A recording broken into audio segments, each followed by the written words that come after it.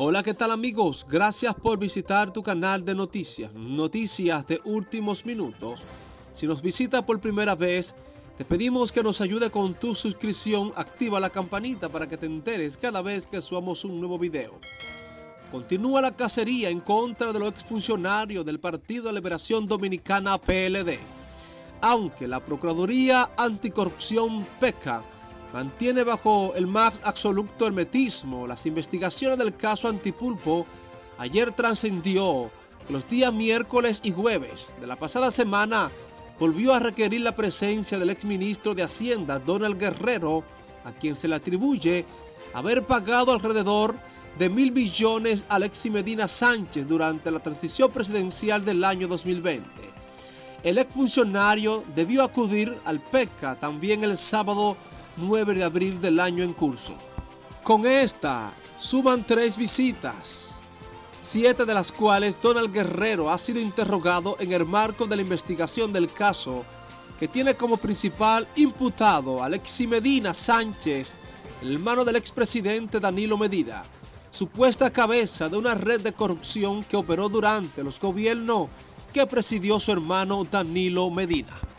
Señores, se intentó contactar a Wilson Camacho a los fines de confirmar si realmente la versión sobre un supuesto acuerdo el cual ha hecho Donald Guerrero, el exministro de Hacienda durante el periodo presidencial del expresidente Danilo Medina, pero lamentablemente no pudo ser contactado ya que el mismo no estaba disponible.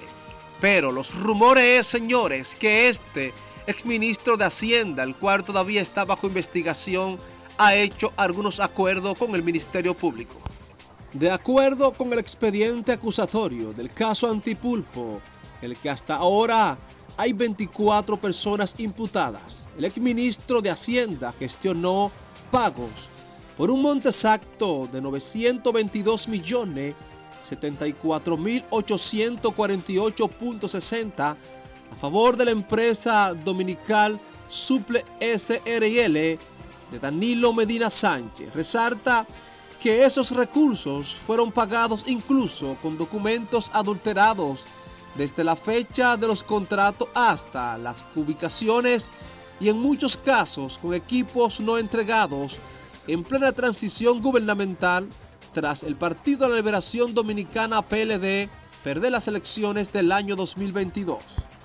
Medina Sánchez logró eso gracias a la intervención de Guerrero y otros exfuncionarios contra los cuales se inició el juicio preliminar el pasado 7 de febrero en el séptimo juzgado de la instrucción del Distrito Nacional. Como parte de la investigación del caso, el exministro de Hacienda fue interrogado otras cuatro veces por el PECA en el año 2021, aunque hasta ahora no se ha presentado formal acusación en contra del exfuncionario Donald Guerrero.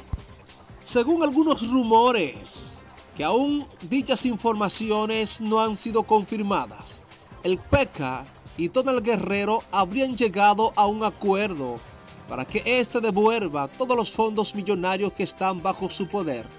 Del caso Antipulpo, el órgano persecutor ha logrado hasta ahora devoluciones de parte del exdirector de la OISOE, Francisco Pagán, de 10 millones de pesos y de Bolívar Antonio Ventura de 25 millones de pesos, todo este dinero a favor del Estado Dominicano.